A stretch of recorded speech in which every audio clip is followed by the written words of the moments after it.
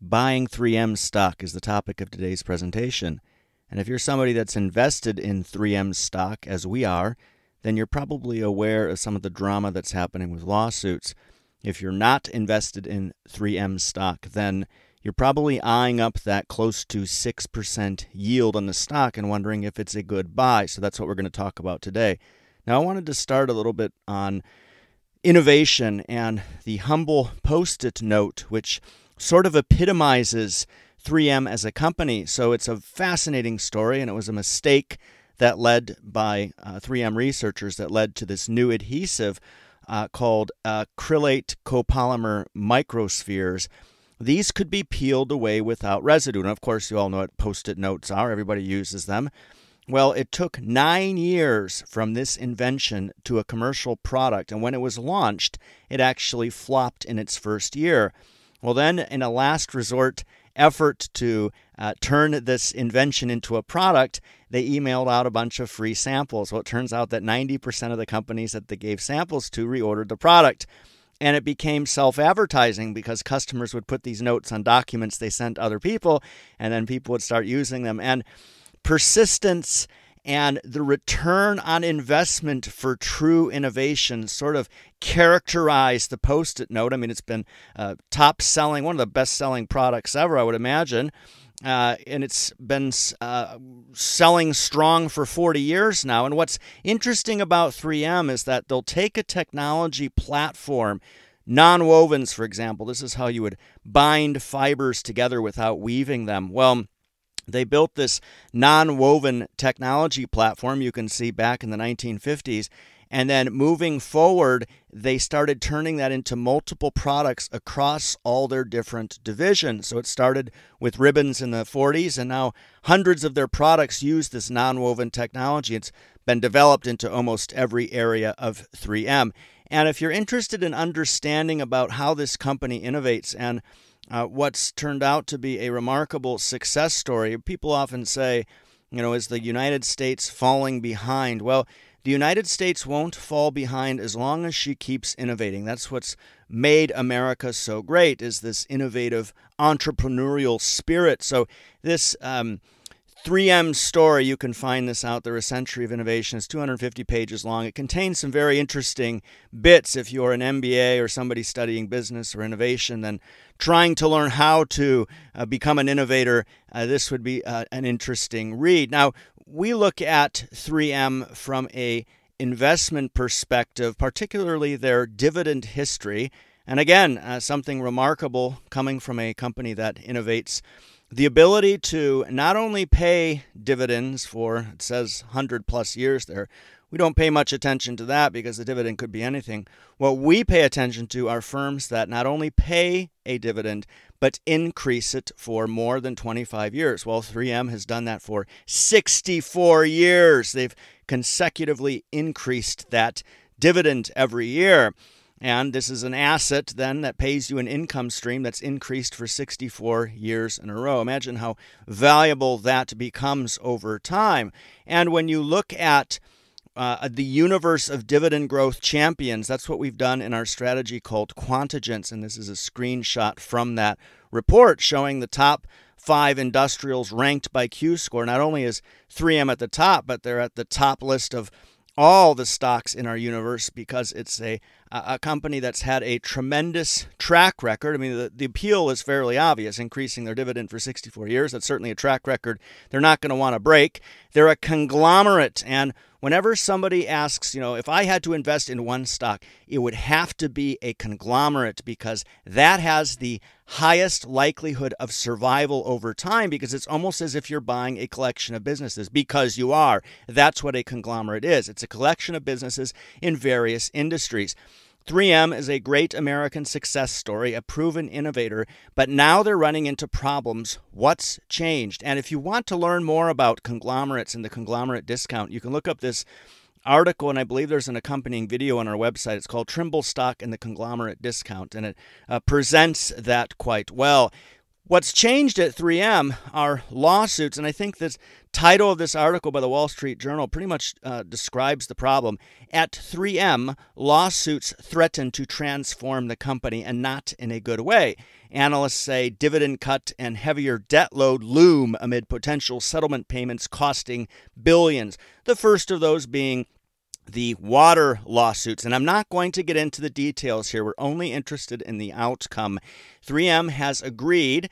Uh, so that's what you're looking for when you have these unknowns is some certainty. So we have some certainty here that for the series of water lawsuits that they were facing, they have agreed to contribute up to a present value, that's in today's dollars, of $10.3 billion, payable over 13 years. Well, that's interesting to note because if the majority of those payments come down the road, then that's a lot less money in today's dollars. So, what they're going to expect from that is a pre tax charge of around $10.3 billion in the second quarter of this year and they'll reflect that as an adjustment in arriving at the result. So you can expect the market will pretend like they've that's the first time they've seen this, and it'll, it'll make the news everywhere. 3M has uh, massive losses based on this uh, payment that they're going to incur over the next 13 years, and we don't know what the cadence of that will look like and whether or not there's some consistency there. But at least we have a resolution, and it's not money they need to fork over right now.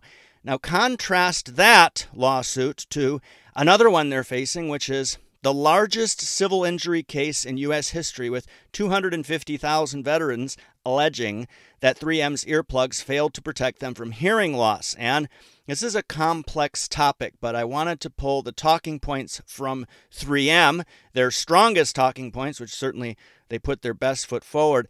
And they talk here about how attorney advertising inadequate vetting and a lack of typical filing requirements have resulted in these more than 200,000 cases on various dockets, and all parties that may be entitled to compensation may now need to litigate on a case by case basis as courts across the country are now full of these cases. And we're going to talk more about that problem.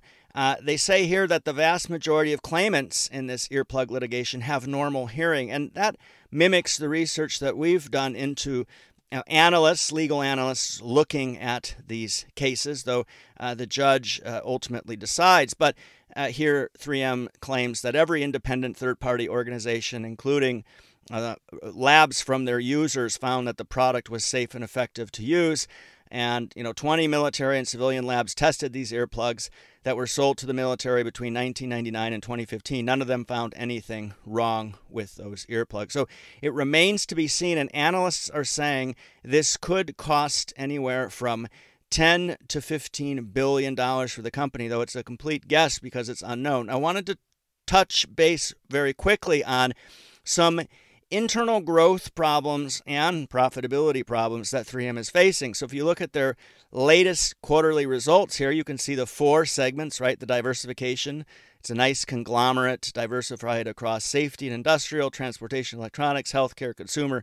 You can see here how this last quarter compared to the same quarter in the year prior, um, look at the drop there in organic growth. And of course, there's uh, foreign exchange impact that will result from a strengthening U.S. dollar.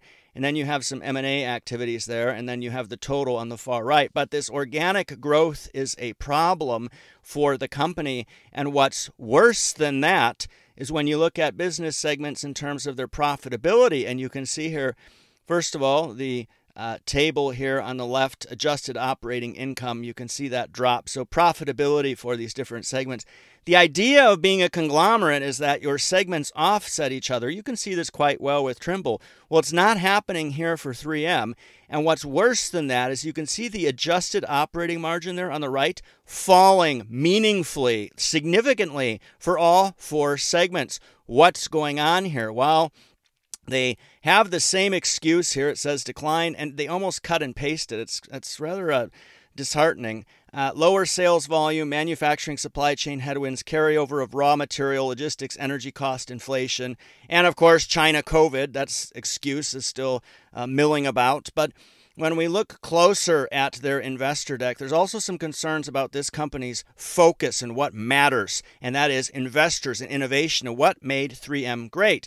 Uh, on the plus side, They're reducing headcount. So, whenever there's a recession, it's great to trim the fat a bit. So they're reducing headcounts. The second reduction, they're expecting a run rate improvement in operating income. That's good. They're moving to resolve these weak margins. And of course, that's going to result in pre tax charges that they're going to take a hit for up front. But what's even more concerning is this move of the company towards this uh, more diverse and equitable, equitable future. And you can see our the presentations we've done on ESG and DEI, and we think that it's poisonous to companies and their culture. And you see here how that uh, has become a focus for 3M, and that's very concerning. What's more concerning than that, even, is this article by Bloomberg Law. It's quite good. Talks about how mass tort litigation is gaming the judicial system.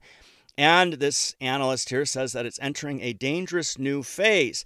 Mass tort action, uh, similar to class action, but and you can read this article to understand the subtle differences. But it's when one of the one or more of the legal criteria for a class action suit is not met, then they go to mass tort litigation. And these plaintiffs' lawyers are generating massive numbers of highly questionable claims against companies to force huge settlements. And now some of these companies are filing for bankruptcy to cap liability and manage claims. We see that with Johnson and Johnson as well.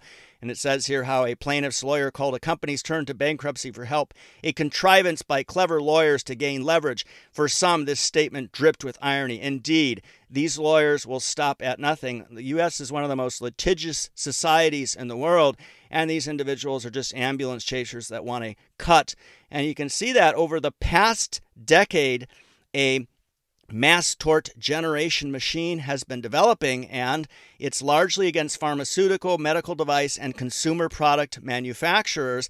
And these companies will fund marketing campaigns. You may have seen some for those of you that live in the States with TV, radio, and internet ads to produce numerous plaintiffs from their customer base. These are people who may not have even been injured or haven't used the product. Nevertheless, they file lawsuits under their names. And the sheer quantity of claims, as we see in the earplug case, is intended to create a presumption among judges, juries, and the media, of course, that there must be merit to the litigation. So let's just get past that because we need to see settlement from that. And until there is, we speculating doesn't do us any good. But what we can do is look at 3M's free cash flow and learn something from this. So the table on the right shows their free cash flow for every year eh, over the past decade, and this is the amount of cash that they have free, which they can pay dividends from or uh, settle lawsuits with, pay off uh, the plaintiffs.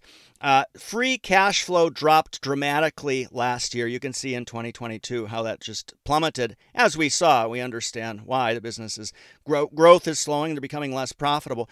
They could still, at this rate, pay off that $10 billion water liability in 2.5 years if they used all their cash coming from the business. So that's great, right? But they're also paying out $3.4 billion a year in dividends. So now you're going to uh, more easily see what the payout ratio looks like, right? If you generate $4 billion and you pay out $3.4 billion, your payout ratio is the percent that you paid out, right? It's quite simple.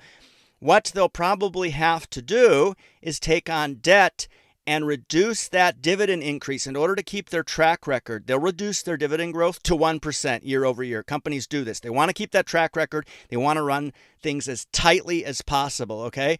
Around $4 billion in cash on their books and $13 billion in long term debt. That means they have net $9 billion in debt. So they had peak debt at $18 billion in 2020. Well, if this earplug debacle results in a $10 billion charge, as analysts are estimating, then that could they could eke by by uh, taking that out in debt. It depends on when that will have to be paid back, presumably in a shorter time frame than water, but we just don't know. Now, when you look at dividends for 3M, see on the, along the top there, that's what we were saying, right? You see where they started they started to tighten their belt there uh, looks like around 2018 and say, wow, we need to reduce that. And then the last two years you see where they've had a 1% increase, just as we said. And on the lower left here, you can see their earnings per share. And on the right, you can see the dividends that they're paying out. See that penny increase that represents that 1%. Well, that's the gap between their earnings and what they're paying out. And the way that we approach dividend growth investing in our strategy, Quantigence, it's very simple. We have no decisions to make regarding 3M. If they announce they won't increase or they'll cut the dividend, we're out. Cash will then go to another dividend champion or somebody that's willing to increase their payment to us every year. VF Corporation, that's a recent example of such a cut where we sold out of that position almost immediately and now we're free. We have that cash freed up and we're looking to replace that position. We're currently rebuilding the strategy from raw data right now and we'll produce an update to that report. Now we have some concerns here that are uh, bigger than 3M and really it's that the importance of financial track records at companies is starting to become overshadowed or even directly affected by this ESG DEI tripe. It's a threat, and we're aware of that threat, and that's why we denounce it for what it is. It's poisonous to shareholders, the companies themselves, the employees, all stakeholder holders lose from this stuff. Even the people that these DEI policies purport to protect lose. Now, America's litigious society is going to start bankrupting some of her greatest companies if judges don't start uh, using some common sense here to see what's going on with these lawsuits that can threaten to eradicate some of America's greatest innovative companies like 3M. Both of these factors the uh, strong push with ESG and DEI and America's uh, litigious society are threats to our Quantigen strategy. And it's one of the reasons why we're pushing towards looking at uh, diversification into non American domiciled firms. So lots of our paying subscribers have asked us to expand the Quantigen strategy into other markets, such as the UK or Europe.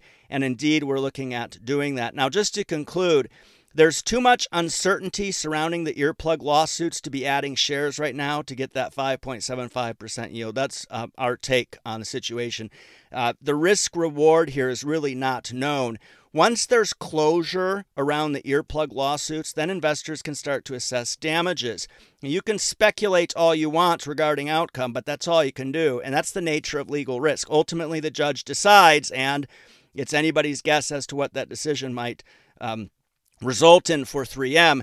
Risk averse investors like us, we don't gamble on uncertain outcomes. So the only approach we're taking is that should 3M stop increasing their dividend, we'll sell the stock immediately and find another. Other than that, we just uh, don't pay much attention to all the noise. We sell dividend growth stocks for one reason only. After we've made that decision to invest in them, there's one reason it's when they stop increasing dividends. I'm going to put up another video here that you might find interesting. Before you watch that, please click the Nanalyze logo on the right, subscribe to our channel, support our work. Thanks for taking the time to watch this today.